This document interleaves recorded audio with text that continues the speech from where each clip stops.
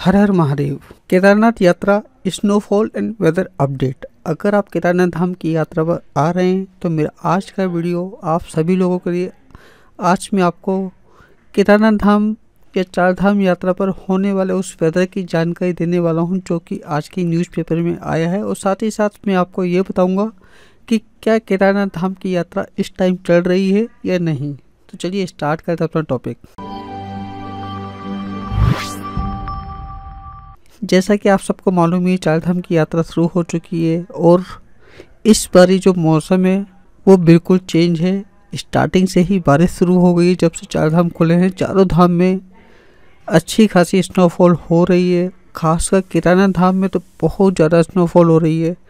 और बारिश तो आपके शहर में भी हो रही होगी। पूरे इंडिया में इस समय बारिश का माहौल चल रहा है। मैदानी ज़िलों में बारिश हो रही है, लेकिन पहाड़ी इलाकों पे वही बारिश बर्फ़ के रूप में पड़ रही है, जिसकी वजह से यात्रियों को टाइम टाइम पे उन जगह पे रोका जा रहा है जिस जगह वो हैं। तो पहले तो पहले देखिए, मैं आपको कुछ अपडेट दिखा देता हूँ, फिर हम थोड़ी मौसम की बात करेंगे। सबसे पहला अपडेट मैं आपको वेदर से जुड़ा दूँगा, लेकिन पहले मैं आपको आज की डेट दिखा देता हूँ। आज है दो मई दो हज़ार तेईस, और जैसा कि आप सभी को पता होगा, जो यात्रा का पंजीकरण होता है, आप इस वेबसाइट से देखिए, यात्रा का पंजीकरण करते हैं, लेकिन अभी आपके सामने इस तरह का मैसेज आ रहा होगा कि तीन तारीख तक के लिए जो पंजीकरण है स्थगित कर दिया गया है, लेकिन इस डेट को आगे बढ़ा दिया गया है, वो भी मैं आपको यहाँ अपना अकाउंट लॉगिन करके दिखा देता हूँ। ये देखिए, ये फ़िलहाल मैंने एक फॉर्म ओपन किया है, यहाँ से मैं एक डेट सेलेक्ट करता हूँ, दो मई से लेकर दस मई तक की, और देन अप्लाई पे क्लिक करता हूँ।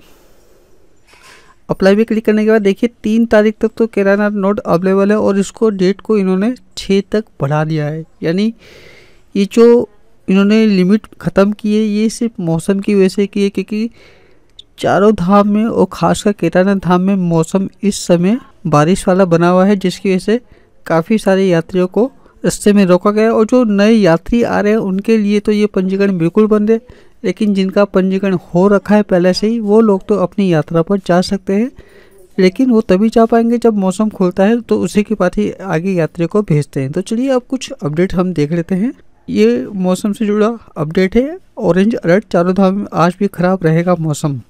उत्तराखंड के पहाड़ी इलाकों के साथ ही चारों धामों में मंगलवार को भी मौसम खराब रहेगा। यानी आज के दिन मौसम विभाग ने पाँच मई तक उत्तरकाशी, रुद्रप्रयाग, चमोली, बागेश्वर और पिथौरगढ़ के बत्तीस मीटर की अधिक ऊंचाई वाले इलाकों में मध्यम बर्फबारी और ओलावृष्टि का ऑरेंज अलर्ट जारी किया है। तो देखिए, स्नोफॉल तो अब चारों धामों में कंटिन्यू हो रही है तो अभी स्नोफॉल तो बंद होने वाली नहीं है। मौसम विभाग ने चार धाम यात्रा में यात्रियों की संख्या नियंत्रित करने की सलाह दी है। यात्री और वाहन चालकों को भी सावधान रहने का सुझाव दिया है। इसके अलावा पहाड़ी इलाकों में तापमान शून्य से नीचे जाने की संभावना जताते हुए सड़कों से बर्फ़ हटाने की व्यवस्था करने के भी निर्देश दिए हैं। और यहाँ देखिए उन्होंने मेंशन भी कर रखा है कि यात्रा से पहले मौसम की जानकारी ज़रूर लें। यानी अगर आप अपनी यात्रा पर आ रहे हैं तो उससे पहले आप मौसम का अपडेट ज़रूर देख लें। वो आप कैसे देखेंगे, इसकी जानकारी मैं आपको इसी वीडियो में देने वाला हूँ। अब हम एक दूसरी खबर भी देख लेते हैं।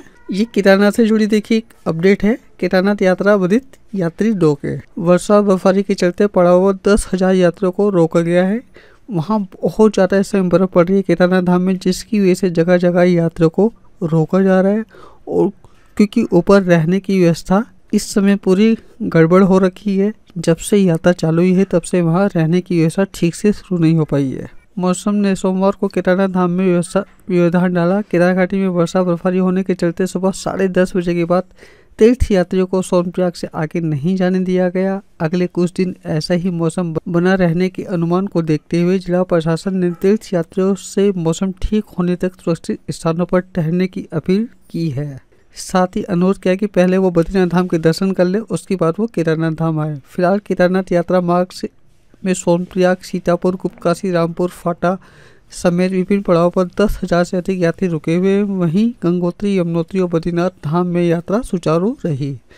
तो फ़िलहाल जो केदारनाथ धाम आ रहे हैं, उनके लिए की अपडेट है कि उनको जगह जगह रोका जा रहा है, क्योंकि अभी जो मौसम है, बहुत ज़्यादा ख़राब चल रहा है। कंटिन्यू बारिश और स्नोफॉल हो रही है। केदारनाथ धाम में तो सबसे ज़्यादा स्नोफॉल इस टाइम हो रही है। पूरी सर्दी वहाँ स्नोफॉल नहीं हुई है, लेकिन अब जब यात्रा चालू हो गई है तो सबसे ज़्यादा स्नोफॉल इस टाइम केदारनाथ धाम में हो रही है। तो बात आती है कि आखिर हम किस तरह वेदर देखें। तो देखिए, इसके लिए नॉर्मल है, आप गूगल करिए और यहाँ आप केदारनाथ वेदर लिखिए। तो अभी आप देखेंगे, जो केदारनाथ का वेदर है, आपको यहाँ वेदर दिखा रहा होगा कि भाई अभी तो कंटिन्यू स्नोफॉल यहाँ दिखा रहा है ये। ये आपका दो तारीख, तीन तारीख, चार तारीख, पाँच तारीख में थोड़ा मौसम खुलेगा, छः, सात, आठ, नौ। और ये सारा का सारा देखिए, अभी स्नोफॉल शो कर रहा है। आप किसी भी वेबसाइट पे आके वेदर का अपडेट देख सकते हैं। बाकी आने वाले टाइम में मैं आपको एक ऐसा प्लेटफार्म अवेलेबल करा दूँगा जिसमें आपको चारों धामों के अपडेट एक साथ देखने को मिलेंगे। बाकी अब मैं बात करूँ उन लोगों की जो हेलीकॉप्टर के माध्यम से अपनी यात्रा कर रहे हैं तो इस समय तो देखिए हेलीकॉप्टर बिल्कुल नहीं उड़ रहे हैं, क्योंकि मौसम बहुत ज़्यादा ख़राब है। जिन लोगों ने अपनी हेलीकॉप्टर की टिकट बुक कराई थी, उनमें से काफ़ी लोग पैदल जा रहे हैं और जिनकी हिम्मत नहीं है, वो वापसी अपने घर जा रहे हैं। और रही रिफ़ंड की बात तो रिफ़ंड आने में उनको लगभग एक या दो हफ़्ते का टाइम लग जाएगा। तो ये कुछ अपडेट थे जो मैं आपको देना चाहता था। बाकी अगर आपको कुछ और जानकारी चाहिए तो आप मुझसे कॉन्टेक्ट कर सकते हैं। स्क्रीन पर आपको मेरा नंबर दिखाई दे रहा है और आप चाहें तो मेरे साथ व्हाट्सअप ग्रुप में भी जुड़ सकते हैं, जिसमें मैं यात्रा से जुड़े अपडेट देता रहता हूँ। तो आज के लिए बस इतना ही। हर हर महादेव।